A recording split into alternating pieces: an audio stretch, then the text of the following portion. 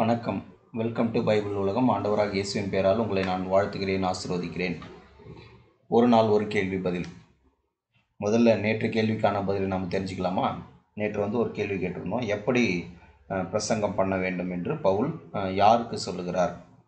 அதுக்கு நிறைய பேர் மிகச்சிறந்த ஆன்சர்ஸ் நீங்கள் கொடுத்துருந்தீங்க மிகச்சரியான விடை கொடுத்துருக்கிறீங்க. அநேகர் வந்து நீங்கள் ரெஃபரன்ஸோடு கொடுத்தீங்க. லைவில் நீங்கள் வீடியோ பார்த்து கொடுத்துருக்கிறீங்க சிலர். அவர்களையும் நான் வாழ்த்துகிறேன். என்ன ஆன்சர்னா ரெண்டு தீமத்தேயு நாலாம் அதிகாரம் ரெண்டாவது வசனம். ஜாக்கிரதையாய் பிரசங்கம் பண்ண வேண்டும் என்று பவுல் தீமத்தேயுக்கு சொன்னார்.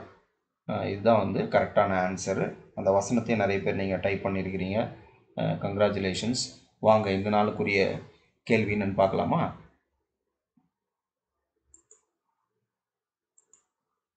எந்த ராஜா எருசலேமிலே வெள்ளியையும் பொன்னையும் கற்களைப் போலவும் அதிகமாய் ஆக்கினான். அதாவது ஒரு ராஜா இருந்தார். அந்த ராஜா வந்து வெள்ளியை வந்து வெள்ளியும் பொன்னையும் கற் கரல் கற்களைப் போல சாதாரணமாக அந்த நாட்டில் அதிகமாய் ஆக்கினார். அப்படின்றது தான் கேள்வி. அந்த ராஜாவுடைய பேரை நீங்கள் சொல்லணும். நீங்கள் ஈஸியாக கண்டுபிடிச்சிருப்பீங்கன்னு நினைக்கிறேன். பழைய ஏற்பாட்டில் இருக்குது. ரொம்ப ஃபேமஸான ஒரு அரசன். ஞானத்திலே வல்லவன். அவனைப் போல சிறந்த ஞானத்திலே வல்ல அரசன் யாருமே இல்லை. அப்படின்றது நமக்கு தெரியும். அந்த ராஜாவோட பேர் கண்டுபிடிச்சிட்டிங்களா? கண்டுபிடிச்சவங்க கமெண்ட் பாக்ஸில் ஆன்சர் பண்ணுங்கள் அடுத்த நாள் இன்னொரு கேள்வியோடு உங்களை நான் சந்திக்கிறேன். God bless you from Bible உலகம். ஆமேன்